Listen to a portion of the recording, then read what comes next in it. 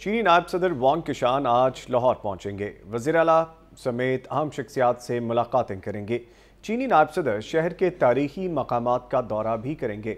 इस बारे में हमें आगाह करेंगे मुदसर नवाब। जी मुदसर नवाब।